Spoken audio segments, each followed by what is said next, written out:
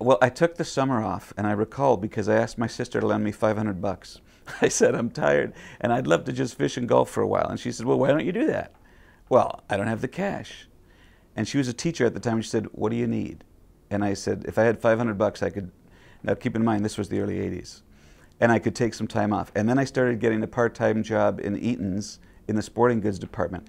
I was already making contact with the uh, advertising manager there uh, and showing him some things, and he was challenging me to do make get some projects done. And uh, I made a contact with um, a fellow in Hamilton. The agency was Bozell Jacobs and Partners, but they did a lot of work for Stelco. And by that September, I got a part-time gig there, three days a week. And it was a lot of industrial videos and safety videos and like annual reports on video.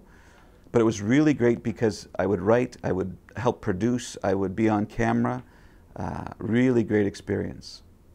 And uh, believe it or not, about two or three months later, by about Christmas that year, one of the people in the department uh, dropped dead, heart attack, and they shuffled the apartment, the apartment, the department, and I, uh, they made a position for me, and I got a full-time gig.